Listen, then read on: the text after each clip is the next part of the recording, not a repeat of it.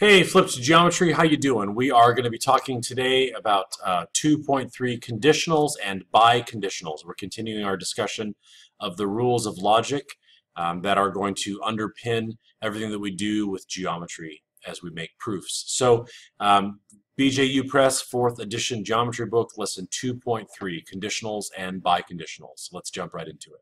Quite often in logical reasoning, you're going to have one statement that hinges upon another.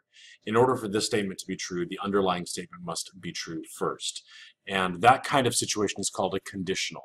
A conditional statement is a statement in the form if P then Q, which is denoted as P arrow Q, and often read as P implies Q, or if P then Q. So these are conditional statements. Um, if you are a mammal, then you have body hair. So if you are a mammal, we can imply that you have body hair. Even if you're a whale or a dolphin, there's a small amount of hair on those mammals. So a conditional statement, if P, then Q. We're going to get to know these very well.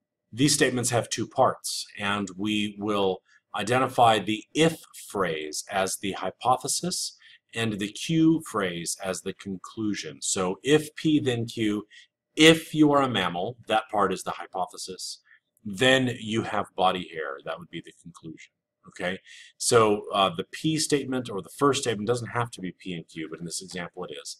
The first part of the statement is the hypothesis, the second part is the conclusion. So let's take a statement that is not a perfect if-then and write it as an if-then. There are no clouds in the sky, so it is not raining. That's not really an if-then yet. We need to massage it a little bit and get it into that stage. So Let's identify the hypothesis. There are no clouds in the sky. And let's identify the conclusion. It's not raining. So rather than saying there are no clouds in the sky, so it is not raining, let's say if there are no clouds in the sky, then it is not raining. Okay? So if-then statements. If there's no clouds, it can't be raining.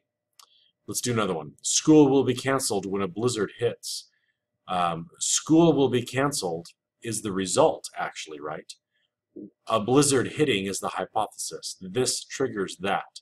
So you can have if-then statements that are given to you backwards, and you have to be able to determine, well, what triggered what? So let's look at how this would work. If a blizzard hits, that's the hypothesis, then school will be canceled. So as you're doing your, your uh, classwork, don't just think that if it's the first part of the sentence, it's the if. That's not necessarily true. It can get rearranged a triangle has three sides. Well, here, the having three sides is the conclusion. A triangle, if the thing is a triangle, that's the hypothesis, right? So if a figure is a triangle, we had to add a lot of words to make one word a hypothesis statement, but it's the same meaning. If a figure is a triangle, then it has three sides. Okay? Um, let's move on. If you need more help with these, go back and watch them again. The truth table on these guys is kind of weird. Um, we would think that uh, something like a, a conjunction would be there, where if the hypothesis or the conclusion is false, then the statement is wrong. But actually, the rules of logic work the other way around. Uh, if-then statements are almost always true. The only way that you can falsify a conditional statement is if the hypothesis is true and the conclusion is false.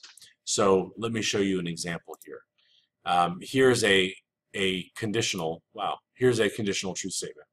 True, true, true. If P, then Q. Yes. If P, then Q. Oh, but this says that that should happen and this is it's not happening. It's false. That doesn't work. That makes sense. But why is it true that if you have a hypothesis that's false, it doesn't matter what the, what the conclusion is? The answer is true. Why is that? Well, Think of it this way. If it's raining, then I will wear a windbreaker. Let's make that statement. Now, you could look at me when it's raining and say, he's wearing a windbreaker. He was telling the truth. Or he's not wearing a windbreaker. He's a no good, dirty, rotten liar.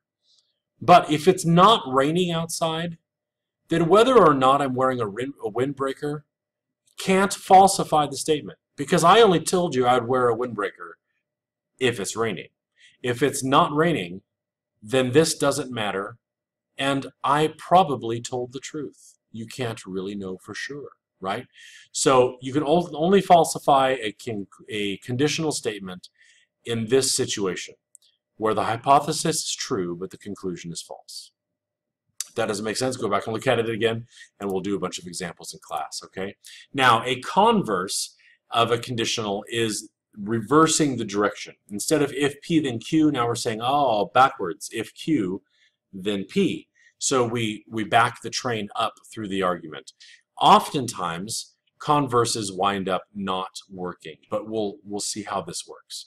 So the converse of a conditional is obtained by reversing the hypothesis and conclusion. Instead of P, if P then Q, we say if Q then P.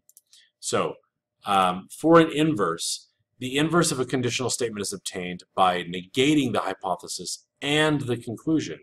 The inverse of P, if P then Q, it would be not P, then not Q. If it's raining outside, I will wear a, a windbreaker. Converse, if I'm wearing a windbreaker, it's because it's raining outside. Inverse, if it's not raining outside, I will not wear a windbreaker.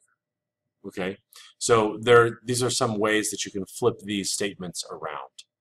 Okay, we'll go through again lots of examples in class, so don't get too stressed if you're losing it here. Trust me, it does make sense. A contrapositive is the other way. That's where you have flipped the order and inverted them and said no. So contrapositive is negating and reversing the hypothesis and the conclusion. So instead of if P then Q, now we say if not Q, then not P. So if I am not wearing a windbreaker, then it is not raining. Okay? You've switched the order and you've negated both statements. That's a contrapositive. All right, let's look at this here. Some examples. Write the converse, the inverse, and the contrapositive of the following conditional. If the measure of an angle is 135 degrees, then the angle is obtuse. That's the if then. So the converse just switches the order. If the angle is obtuse, then it's 135 degrees. Well, we understand that that's not true, right? Something about that doesn't work because the 135 degree is just one many one of many angles that would be obtuse. It could be uh, uh, it could be 160 degrees. It could be 94 degrees, right? So um, converses often don't bear out the same truth answers that their conditional statements do. Okay, um, let's look at the inverse. If the measure of an angle is not 135, then the angle is not obtuse. Well, again, that does not always carry out, right? That's a false statement because um, if the angle is 132, then it's not 135, but it is still an obtuse angle. Okay, so that would be an example of the inverse. And then a contrapositive, we negate and we reverse the order. If an angle is not obtuse, then its measure is not 135 degrees. And that actually is true, because if it's not 135, then, uh, sorry, if it's not obtuse, then it's definitely not 135 degrees If it's not obtuse, then it's a straight angle or it's less than 90, and none of those could be 135. Contrapositives usually do have the same truth statement, truth value as the original statement. The contrapositive rule, a conditional, is equivalent to its contrapositive. So however the true and falses work for a, a conditional statement, the same true or falses will work for the contrapositive. They have the same truth values okay? All right. Combining a conditional and its converse with the word and forms something called a biconditional, and this is a little bit strange. A biconditional is a conjunction in the form of if P then Q and if Q then P. Okay? Um, and in order for a biconditional to, be, to work, both of those have to be true, right? So biconditionals are often written as P if and only if Q. If and only if is, is really this. If P then Q and if Q then P. Okay? Biconditionals are very hard to satisfy. Um, so let's look at an example of the table here. P and Q, true, true, false, false, true, false, true, false. Let's look first at the conditional, if P then Q. Both of those have to be true, the hypothesis true and the conclusion false is the only way that that is falsified. If the hypothesis is false, then the conclusion doesn't matter and the statement is true. Let's look at the inverse now. True, true, true. Hypothesis is false. Conclusion is true, but if the hypothesis is false, it doesn't matter. So the statement is still true. True, false, that's the only way that this one can be negated. Okay? And then false, false is true because the hypothesis is false. It doesn't matter what the conclusion is. So here's my conditional. Here's my inverse. Now I'm going to say and. In order for this to be true, both the conditional and the inverse must be true. So true, true, true. Any way that that's mismatched, the answer is false. And then true, true, true. So this is the common answer to a, uh, a biconditional. Okay, a biconditional. Um, take a moment and review that and look at that until it makes sense to you. Here's just an interesting uh, artifact of these kinds of problems, is that um, the equivalent disjunction theorem. If P then Q gives you the same answers in a truth table as the uh, disjunction, the OR statement of not P or Q. Um, and this table just demonstrates that, right? So P, Q, true, true, false, false, true, false, true, false. Not P, so it's the opposite of this column, okay? And then if P, then Q.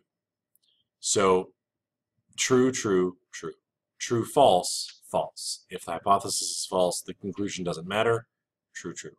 So the answer for if P, then Q is true, false, true, true. Now let's look at this thing. Not P or Q. This is the not P column.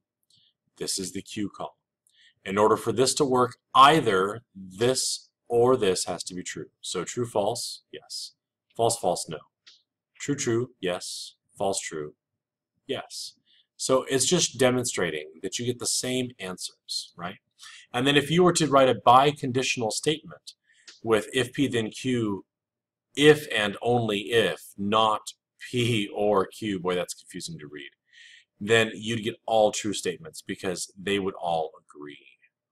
Okay, true, true, true, false, false, true, uh, true, true, true, true, true, true. This would this would unify everything.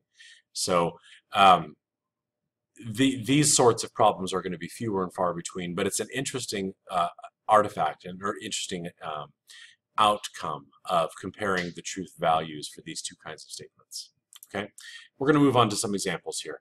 Change the following conditional into an equivalent disjunction. If a child disobeys, then he will be corrected. Take a moment and think about that. It might take you a minute even to understand the question. What they're looking for is to, to form that equivalent disjunction where you negate the hypothesis and then use a OR operator, right? The negative and then the disjunction. So if a child disobeys, then he will be corrected. That's if P then Q. But we wanted to say not P or Q. If a child disobeys, is the hypothesis. We're going to negate that. We're going to say a child uh, does not disobey, right? And then we're going to use or instead of the then. He will be corrected. So um, negate the hypothesis and use or as the connective. So a child obeys, which is, I guess, the opposite of disobeying a child obeys or he will be corrected, right? And so this just this would give you the same sort of idea as the uh, as the biconditional. A child disobeys if and only if he is corrected. Um, so these are some interesting ways of flipping this around. We're going to do this together in class a whole bunch. So if it doesn't make sense to you right now, that's okay. You can look at this again until you understand or uh, make note of your questions and we'll go over it tomorrow in class. Until then, God bless you, Jesus loves you, and so do I. Good night.